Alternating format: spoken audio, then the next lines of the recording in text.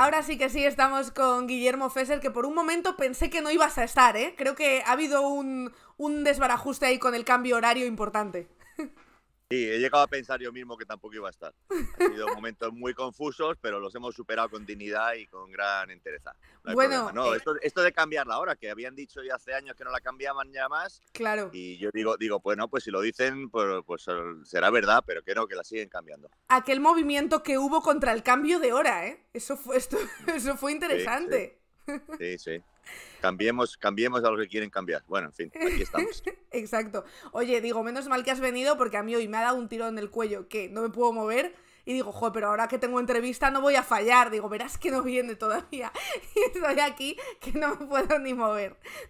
Bueno, no sé si voy a poderte masajear desde aquí con mis palabras, pero bueno, lo intentaremos. Ojalá, la verdad, ojalá. Primera pregunta, Guillermo, ya que estás aquí, que le hacemos a todos nuestros invitados e invitadas. ¿De qué estás tú hasta el coño? Sí, no, es una pregunta interesante, Es una pregunta eh, directa al corazón y, sensible. Pues mira, yo te diría que mm, de lo que podríamos denominar el yoísmo, es decir, de, la gente que se pone en el centro del universo y entonces eh, tú vienes con una ansiedad de tenerte en mis brazos, con una inquietud, con una preocupación y tres segundos eh, después de que tú abras la boca ya ellos van hacia, no, pues, pues yo y ya te cuentan su vida, ¿no? Es decir, eh, la gente que no escucha, básicamente, que es un drama importante y yo creo que es eh, un porcentaje muy alto de los problemas que arrastra la humanidad, ¿no? La falta de, escuchar a los demás y de contar lo que tienes en la cabeza sin darte cuenta que a lo mejor te están hablando de otro tema, ¿no? Mm. Entonces, bueno, llámalo el yoísmo, llámalo el egocentrismo, llámalo el ponerte en el centro del universo, la incapacidad de escuchar me molesta profundísimamente. Dijiste también hace poco que Estados Unidos, eh, creo que fue en el intermedio donde lo dijiste, vive una pandemia de codicia, que puede que esté también relacionado ¿no? con este yoísmo del que hablas. Está bastante relacionado. Eh, Estados Unidos era todo lo contrario, eh, era un país de inmigración y sigue siendo un país de inmigración, donde, bueno, tú no sabes cuando vives en un pueblo, en una ciudad de Estados Unidos, quién va a ser tu vecino, ¿no? Si, ¿Qué va a celebrar el 24 de diciembre? Eh, y si van a comer en una mesa o van a comer en, un, en, el suelo, en una alfombra, ¿no? Es decir, aquí la, gente sigue siendo sorprendente y es la grandeza de este país, ¿no? Pero la narrativa eh, ha cambiado mucho y están ganando los que piensan eh, que esto en lugar de un país debe ser un casino en el que entras, apuestas, si ganas te va muy bien y si no ganas pues pierdes y mala suerte. ¿no? Y, y, entonces eh, pues esto está haciendo que, que lo que crea una sociedad, que aquí lo llaman socialismo, pero que realmente es vivir en, en sociedad, pues que no, que es un, que es, que es un despilfarro y, que es eh, alimentar la vagancia, ¿no? Que, no hay que pagar impuestos, básicamente, mm. que si yo gano dinero, pues que lo ganes tú también, ¿no? Entonces, esa dinámica no funciona y, hemos entrado en una dinámica tan peligrosa, lo que yo llamo pandemia de codicia, en que, fíjate tú, eh, hace, en los años 70, eh, en 1970, si tú ganabas mil euros al mes, el jefe de tu empresa eh, en comparación ganaba 20.000 al mes, que no está mal. ¿eh? Ahora, eh, vete hacia adelante y estamos a día de hoy, si tú ganas 1.000 euros al mes, el jefe de tu empresa gana 395.000 euros al mes. Esa es la gran diferencia, ¿no? Es decir, se, ha, se, ha, creado un sentimiento de que me lo merezco, de que para mí y de que tonto el último, que es muy peligroso, ¿no? Porque está haciendo que haya muy poquitos con muchísimo, pornográficamente demasiado, y, la mayoría con muy poco, ¿no? Y eso crea una ansiedad de la gente, eso crea un agobio en la, eh, en la gente que va por la calle y eso hace posible que los populistas, los que prometen que van a solucionarlo todo con fórmulas mágicas, eh, tengan acceso al poder, lo cual es terrible, ¿no? Es peor el resultado que la enfermedad. Desde luego el clima perfecto para que vuelva Trump otra vez y arrase. Se está, se está gestando. Estamos con mucho miedo, estamos con los pelos de punta, pero, pero estamos, que es lo importante. ¿no? Eh, yo soy consciente y creo firmemente que hay mucha más gente en Estados Unidos que quiere democracia que, que el número de gente que quiere que vuelva a este ser humano. ¿no? Eh, lo que ocurre es que el sistema electoral de Estados Unidos favorece hoy mismo a, la gente que piensa eh, apoyar a Trump, porque son gente más fácilmente manipulable, aisladas en el mundo rural y el mundo rural electoralmente en Estados Unidos está favorecido, ¿no? Mm. Por eso es el miedo, ¿no? Pero, pero vamos a verlo, ¿no? Hay mucha gente movilizada. Eh, aquí ya hace algunos años que las elecciones no son solo un día, aunque oficialmente son el 8 de noviembre, el próximo martes, eh, realmente ya han empezado en, algunos lugares hace un mes. Eh, aquí en mi pueblo yo puedo votar desde hace una semana y todos los días hay votación, con lo cual eh, hay más facilidad para que la gente se acerque a, poner, a depositar su voto y sobre todo hay mucha movilización en la gente que normalmente no vota. Por ejemplo, en mujeres jóvenes que pasan de política impresionantemente pero que cuando les han quitado el derecho al aborto se han puesto de uñas, ¿no? Entonces vamos a ver qué pasa, pero puede pasar cualquier cosa porque está súper, súper, súper igualado. Eh, llevas un montón de tiempo ya viviendo en Estados Unidos, no sé si ya te consideras casi más eh, estadounidense que español o te sientes más estadounidense que español, pero te preguntan por aquí respecto a los impuestos, te dicen, Biden amenaza con imponer impuestos a las energéticas y a las grandes empresas, ¿crees que se atreverá? Espero que se atreva, no, no, no amenaza. Eh, vamos a ver, esto no es, eh, la narrativa no es que es que hay unos malos que quieren quitarle el dinero a otros. No, esto es que los impuestos se han inventado para pagar todos. Y entonces aquí, a través de trucos del almendruco de muchos años eh, del Partido Republicano, cada vez se les han ido quitando más impuestos a las empresas. ¿no? Es decir, aquí el que tiene un sueldo, un salario normal, eh, pues paga igual de impuestos que en España. Es decir, los impuestos aquí son bastante altos. El problema es que aquí la gente que no cobra por un salario, sino que cobra por dividendos a través de una empresa, no paga nada. Con el rollo de que eres empresario hay muchos trucos para no pagar nada. Y entonces hay empresas, hay gente con muchísimo dinero que paga cero patatero. Eso es lo que eh, Biden y yo mismo y muchos millones de americanos piensan que es una falacia, ¿no? Es decir, usted tiene que pagar impuestos, eh, ni más ni menos que yo, proporcionalmente, y eso es lo que hace falta. Pero eso es lo que aquí, eh, que nosotros pensamos, o que yo pienso que es un, rollo de justicia social, piensan que es de socialismo, y hmm. socialismo no lo asocian con Suecia, no lo asocian con Dinamarca, no lo asocian con España, lo asocian con, uh, Kim Jong-un, el de, el de Corea del Norte, uh, que viene, que nos lo quitan. Bueno, es todo un tema eh, de que los líderes estos que tenemos, especialmente los del Partido Republicano, mienten a la cara a la gente Mm, sin avergonzarse eh, absolutamente ni enrojecerse, ¿no? Y, esas mentiras calan y en eso estamos, ¿no? Pero bueno, como digo, está la cosa muy igualada. Hay mucha gente que piensa eh, que, el socialismo no es una cosa para asustarse, sino que es una cosa eh, que, habla de justicia social y que mm. habla de que, de que el reparto sea equitativo y en ello estamos. Vamos a ver qué pasa. ¿Y tú ves a Biden fuerte como para volver a presentarse contra Trump o crees que ya Biden no, va a ser? No, eh, vamos a ver, Biden eh, en comparación con Trump, virgencita que me quede como estoy, ¿entiendes? Es decir, eh, Biden para la mayoría de los votantes demócratas fue un mal menor, es decir, nos lo colocaron como candidato, llegó ahí como candidato, pero no era en absoluto el candidato que ilusionaba, ni mucho menos. Y Biden efectivamente está mayor, pero como está mayor la mayoría de los políticos americanos, esto parece Jurassic Trump, es decir, Park. Vamos a ver, o sea, Nancy Pelosi es que es súper mayor, Trump es que es súper mayor, eh, Mitch McConnell es que es, vamos, o sea, te quiere decir que, que, hace falta una renovación urgente, ¿no? De, de la gente que, que, manda aquí, sobre todo para que tengan conexión con la gente a los que mandan aquí, ¿no?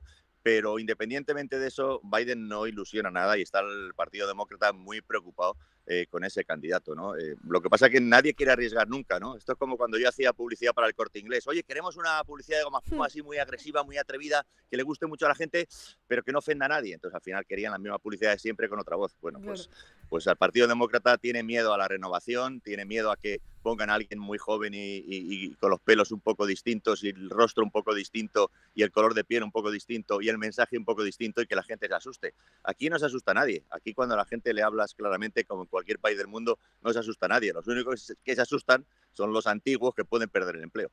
Hmm. Eh, de hecho, aquí hemos comentado, fíjate, de Joe Biden un montón de momentos. Eh, aquel vídeo que se hizo tan viral, que luego además se repitió otra vez, de Joe Biden saludando a la nada. Eh, que no sé si allí también se movió bastante, pero aquí se movió bastante cuando él acaba un discurso y se gira y saluda, pero no hay nadie a quien saludar. No sé si tú has tenido la oportunidad, ¿no? De ver alguno de esos gestos en directo y de seguirlo por la prensa también estadounidense. No, yo no he seguido a Biden eh, eh, políticamente, la verdad es que no, él está en Washington, yo estoy en un pueblecito como eh, Heidi, en las montañas, y cuando voy por Washington no voy a, intentar hablar con Biden, sino a ver otras cosas, ¿no? Hmm. Pero, pero bueno, veo la tele igual que tú y veo todos esos gestos y, y bueno, eh, a ver, eh, parte es que efectivamente es un señor que está mayor, parte es que yo si fuera presidente de un gobierno como el de Estados Unidos metería la pata 45 veces igual que él porque no me puedo ni imaginar la agenda. Y parte es que Biden, eh, hay que entender, tiene un mérito de los que tiene, es que es un señor que tiene unas dificultades eh, importantes de lenguaje, es decir, era prácticamente tartamudo y él pues mismo a través de su logopedia y de su trabajo y de su tal consigue hablar, pero la mitad de las veces que se atranca no es porque que esté gaga, es porque Biden se ha trancado de serie desde que nació y, lo que hace es un esfuerzo increíble para que no se note, ¿no? Mm. Entonces, bueno, eh, una combinación de todo eso y una combinación de la malicia que hay ahora mismo, eh, eh, o de la maldad que hay ahora mismo en el otro lado, porque, mm, o sea, eh, cuando tú no quieres que funcione el gobierno a ninguna costa, pues cualquier arma vale, y bueno, reírse de Biden y ridiculizarle y ir a por él de la manera más absurda, pues, pues también vale. Y bueno, nosotros que lo vemos, o vosotros que lo veis en España fuera de contexto, pues, pues bueno, pues, pues, pues decís, este señor qué le pasa, pero vamos, este señor sí le pasan cosas, pero no le pasan más cosas que a cualquier señor de 78 años. Sí, a, a los nuestros les pasa también, ¿eh? o sea, aquí me imagino que habrás visto que también vamos bastante cargaditos de, momentos eh, vergonzosos en la política española. Y de hecho quería preguntarte si ves alguna eh, comparación entre líderes españoles y líderes estadounidenses. Si, por ejemplo, eh, hay alguien que te recuerde a Trump o alguien que te recuerde a Biden o a Bernie Sanders. Bueno, el, mensaje del populismo, ¿no? el mensaje de la, de la extrema derecha de España y de Estados Unidos no es que sea parecido, es que Steve Bannon, que es el consultor que le contó a Trump cómo llegar a la presidencia mintiéndole a los ojos de los estadounidenses, es el mismo que ha estado contándole a Vox en Madrid cómo se consiguen votos ¿no? y cómo se hace que su partido tenga esperanzas de llegar al poder. Eh, con lo cual la ultraderecha, eh, eh, la cartilla y, el, libro de estilo es idéntico que el libro de estilo de Estados Unidos, mentir, no tener programa sino, sino tener mensaje, es decir, aquí se creó Make America Great Again, eh, vuelve a conseguir que América sea grande. A quién no le va a, gustar que América sea grande, pero ese era el mensaje, pero el cómo hacerlo no había programa. ¿no? Hmm. Entonces, en lugar de estar en el Parlamento legislando, estás en las redes sociales mandando mensajitos y fotitos. ¿no? Y luego, sobre todo, eh, sin ningún pudor y, sin ninguna vergüenza, eh, insulta y, miente al contrario, ¿no? Y hazlo terrorífico, ¿no? Porque cuanto peor sea al contrario, si demonizas al contrario, pues la gente va a decir cualquier cosa menos este y entonces van a querer que vengas tú. Es decir, no vienes tú eh, porque te lo merezcas, sino vienes tú para quitarme de encima este, ¿no? Toda la, extrema derecha es revanchista, ¿no? El voto para mm. Trump no es un voto para Trump, es un voto porque Trump ha prometido que va a matar a mi enemigo. Así que es una por ellos, un revancha. Yo recuerdo en las últimas elecciones estar en dos, eh, lo que aquí llaman rallies, que nosotros llamamos meeting, me parece, ya ni me acuerdo de campaña, de, de dos eh, candidatos, ¿no? Uno era Bernie Sanders y otro era Donald mm. Trump. Cuando estaba en el, en el de eh, Donald Trump, mm, estaba hasta arriba de gente, estaba Trump hablando, pero yo me sentía como se debió sentir Frodo cuando llegó con el anillo a Mordor, con una maldad alrededor, un odio, una... O sea, allí no había felicidad, no era cuando yo iba de pequeño que era monaguillo a la Mariápolis y todo eso era la, la, la, no, era un, como un resquemor, un, y, o sea, salí de allí con dolor de estómago. Y me metí en el de Bernie Sanders, que aquí dicen que es eh, de extrema izquierda y tal, pero olvídate de rollos políticos, como si era marciano, me da igual. El caso es que yo entré allí y lo que se producía, los vítores, la, eran, eran un a favor de algo, era, era, era positivo, era, era, era, festivo, ¿no? Entonces, eh, eh, hoy aquí en Estados Unidos, desde luego, el Partido Republicano ha elegido ese odio, ese, ese rencor, ese, pues ahora no vas a abortar, pues ahora no sé qué, el del prohibir, el recortar, el ir a por ahí, el, pues ahora no vas a estudiar en el colegio este libro, o sea, eh, eh, eh, y, todo por una rabia, ¿no? y, tu madre más, y, el Partido Demócrata, que es un partido, que no es una congregación religiosa de monjas, que es un partido con sus maldades, con sus corruptelas, con su hmm. todo, un partido, pero ha apostado por lo menos por cambiar Estados Unidos eh, por hacer un examen de conciencia, decir, señores, así no podemos seguir y tenemos que cambiar y tenemos que pagar más impuestos, pero también tenemos que hacer que la vida de la gente sea más agradable y están, eh, pues yo que sé, pidiendo cosas tan sencillas como que haya un seguro eh, médico universal para la gente, es decir, que no es una revolución terrorífica. Te preguntan por aquí, ¿qué opinas de Carrie Lake, candidata de los republicanos? No sé si has tenido tiempo de profundizar en esta figura. Me parece que estás hablando de la que se presenta gobernadora en, Arizona. Hmm. Bueno, pues es una. A mí me da mucha vergüenza, me da mucha vergüenza ajena. Es decir, eh, eh, los políticos, digamos, eh, pues son seres humanos y tienen ideas y puedes estar de acuerdo con ellos y puedes no estar de acuerdo con ellos, pero se les supone una preparación, es decir, se supone una, un contacto con la realidad de su, del lugar al que quieren representar y un contacto con la realidad de sus representantes. Esta señora eh, como muchos de los representantes que ha puesto Trump en el Partido Republicano para ganar, eh, primero, no tiene preparación ninguna, es decir, eh, tiene el cerebro muy parecido a una Madalena, y luego dice unas tonterías impresionantes sin ninguna base, miente sin ninguna base y defiende unos principios que, que, para mí, o sea, vamos a ver, no son malos ni buenos ni todo lo contrario, pero se llaman edad media.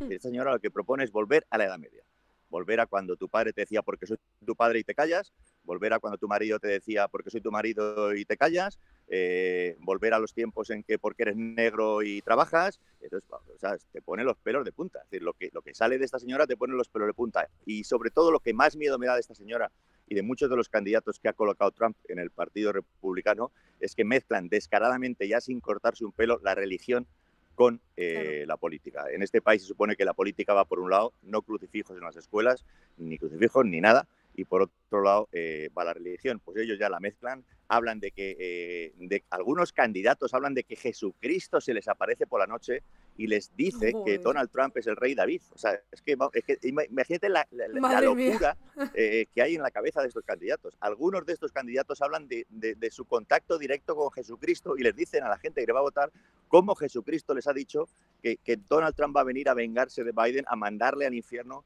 y que eh, llega aquí ya el fin del mundo está cercano y que tienen que defenderse y que este señor, Donald Trump, es el rey David. O sea, Donald Trump, el rey David. O sea, será ejemplo de todo menos de bondad en esta tierra. ¿Tú crees que para, el para Trump y sobre todo para el trumpismo la derrota de Bolsonaro en las elecciones ha sido un golpe? Sí, y, le están recomendando desde aquí que haga lo mismo que ha hecho Trump, es decir, que niegue los resultados y que digan es, imposible, es imposible que la gente no me quiera votar, por tanto hay fraude. Esa, esa, esa es la, la, base de su argumento. O sea, su mm. argumento no es que hay fraude porque mire usted, lo vamos a demostrar o aquí están estas papeletas o aquí se llevaron aquellas el argumento es hay fraude porque pues porque es imposible que voten a ese cómo no van a cómo no me van a votar a mí bueno pues en lo mismo estamos no eh, sí eh, Trump eh, hizo un vídeo ahí en su en su red social apoyando a Bolsonaro y diciendo a la gente que se revolucionara y que no aceptara los resultados. Y, aquí en, Fox que es el canal oficial del Partido Republicano están todos los listos que aquí se llaman pundits pero en España son los listos, son los que, los que opinan en, las tertulias, eh, diciendo que es un desastre para el mundo, que tal, que ya viene la izquierda, que nos come los pies. Bueno, el mismo, mensaje que hacía Ronald Reagan con, con, eh, Nicaragua cuando vino la revolución y, bueno, y se la destrozaron, la destrozaron, que venía el comunismo, que tal, destrozaron la revolución, destrozaron el país y hoy fíjate lo que tenemos en el país, una dictadura terrible, pero que es fruto del destrozo horrible económico y social que hizo Ronald Reagan de una Nicaragua que en el año 1979 estaba emocionada y con un futuro bastante alentador. Te están preguntando justo por el chat que cuando publicas algo y justo eh, yo he visto que has publicado Marcelo, que es una novela que se basa en la vida, bueno, ahora nos cuentas un poco, pero de un emigrante básicamente ecuatoriano que se convierte en el barman más famoso de Nueva York, que me parece una historia increíble. Primero preguntarte cómo llegas hasta esa historia y por qué decides escribir una novela sobre esa historia. Mm. Marcelo es una, básicamente es un libro bonito que te deja con un buen sabor de boca cuando lo terminas, ¿no? Y, creo que en esta época en la que estamos todos eh, con los pelos de punta y la carne de gallina, el ver que hay un ser humano eh, digno, un ser humano divertido, un ser humano entrañable, un ser humano mm, que te hace levantarte de la cama diciendo, mira, si hay gente como esta en este planeta, merece la pena seguir viviendo, pues eh, es una aportación interesante a, la humanidad y a los lectores, que a mí me encanta leer y, es tan difícil que te caiga un libro de estos en las manos que, cuando me cae uno lo abrazo y, lo coloco debajo de la almohada varios meses para que me acompañe.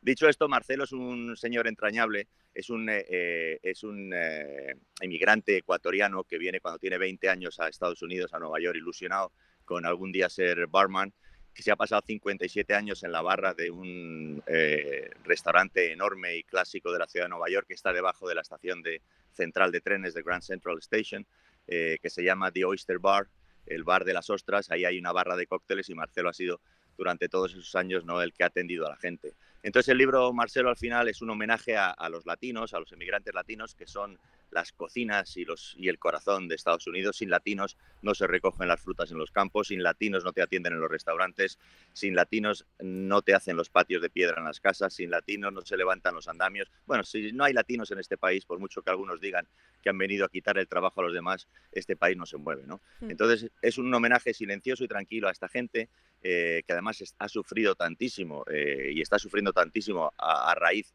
de, los insultos eh, de Donald Trump directos, ¿no? Y cuando un presidente dice que alguien viene a violar a tu hija, pues es una, acusación muy fuerte y es muy difícil luego borrarla, ¿no?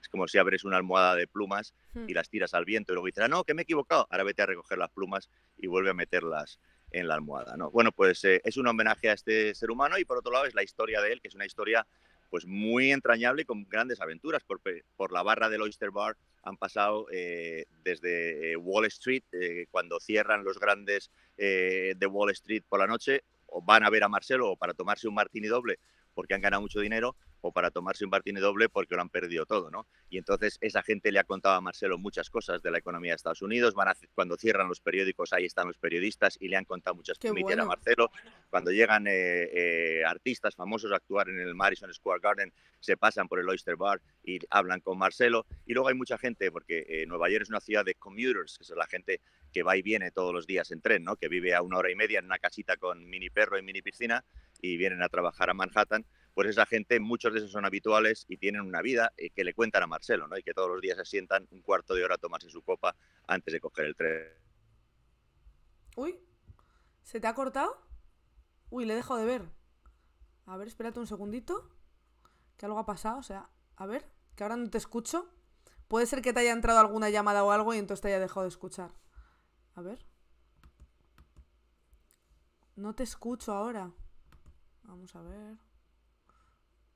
Uy, creo que se nos ha... Eh, se nos está yendo, si no le vuelvo a meter otra vez.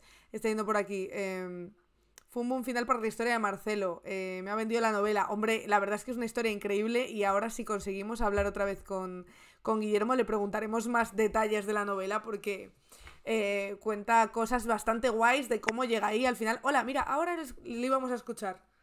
Ahora sí que la había escuchado cuando había entrado. A ver si conseguimos que, que pueda entrar de nuevo. Estáis diciendo por aquí, eh, alguien ha pisado el cable, ¿sí? Como cuando Pablo Iglesias en Al Rojo Vivo, ¿eh? Como ese momento. Em, hola, ¿qué tal? Eh, ahora te escucho, pero no te veo. ¿Sí? A ver, a ver, que ahora creo que te vuelvo a ver. Espérate un segundito. Te voy a volver a poner aquí, que creo que ahora ya te vuelvo a ver. A ver. Un segundo. Eh, a ver si conseguimos verte. Ahora sí, ahora te vemos y te escuchamos. que estábamos, no sé dónde me he quedado. estábamos hablando justo de, la historia de Marcelo, de esa historia al final em, de superación y de la de gente famosa, conocida, incluso de Wall ah. Street, que pasaba por su, por su eh, restaurante, este bar o como se quiera llamar. Vale, pues te decía que por el, por el Oyster Bar cualquier artista importante, ¿no? que hay grandes artistas internacionales y americanos que pasan por Nueva York a actuar en el Madison Square Garden, pues se pasan después a tomarse una copa con Marcelo. Entonces Marcelo al final es la historia de la ciudad de Nueva York desde 1960 hasta nuestros días, cómo ha ido cambiando, mm. es la historia de la inmigración y cómo les hemos ido tratando y es la historia como es la historia de cualquier persona de, un amor, ¿no? Todos tenemos una historia de amor, eh, algunos con final feliz, otros sin final y otros con final trágico. Marcelo tiene la suya, creo que es mm, bonita, creo que es apasionante, creo que eh, te llega y te pellizca el corazón y eso espero que le pase a, los lectores cuando se acerquen a Marcelo, que como digo, es un libro que te deja un buen sabor de boca. Oye, y he leído que en ese restaurante se hace bocadillo de ostras fritas. En el Oyster Sí, yo me acerqué a él, me acerqué a él eh, recomendado por, por, un humano al que estaba entrevistando eh, para saber por qué salía el vapor eh, por las alcantarillas de la ciudad de Nueva York en invierno y me dijo que si tú no has probado el sándwich de ostras fritas, que lo llaman aquí po' boy, que es como el, niño pobre, ¿no? Porque las ostras, pues es como las cocochas en España, ¿no? Que hasta hace poco se las comían los pobres, que no que era lo que nosotros tirábamos, porque quien quería comerse un moco, hasta que los listos descubrimos que estaban buenas y se las quitamos y ahora son nuestras, ¿no? Pues las ostras lo mismo, y entonces ese bocadillo de ostras fritas es, eh, es, es, espectacular, es buenísimo y es una de las, eh, bueno, de las atracciones más fuertes, más potentes de la barra de, Marcelo. Allí me acerqué, probé el bocadillo, me tomé una cervecita, le vi poner cócteles y a partir de ahí eh, pensé que era un tipo interesante. Volví a, a, verle alguna vez, volví con mi mujer una tarde.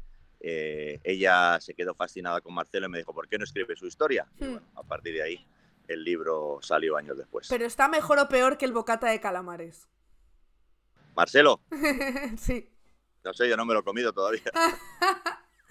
Madre mía. Eh, pero quiero decir, eh, ¿tú has bocata de calamares has bocata de ostras. claro, el bocata de ostras, o el bocata de calamares. No, eh, en, en, Madrid el bocata de calamares y en Nueva York el bocata de ostras, efectivamente. Que es que, como me ha dicho antes, ya eres americano, eres español. Bueno, yo si los hombres fuéramos un árbol, mis raíces son Madrid completamente, le debo todo mi, mi, mi vida, lo que soy a Madrid, pero mis ramas eh, son Estados Unidos y, y, las he crecido aquí y las he, y las he desarrollado aquí. Respuesta para que no te linchen, ¿eh? Ninguno de los dos sitios, ¿eh? ¿Has visto?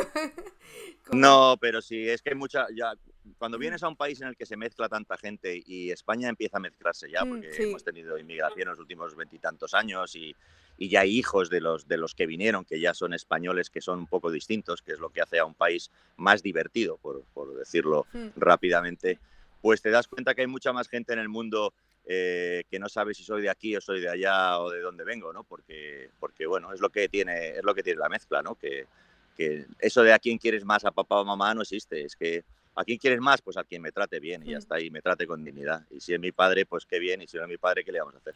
Oye, Guillermo, muchísimas gracias por estar con nosotras este ratito. Ya te dejamos por ahí haciendo eh, recados, que te hemos interrumpido en, tu, caminata.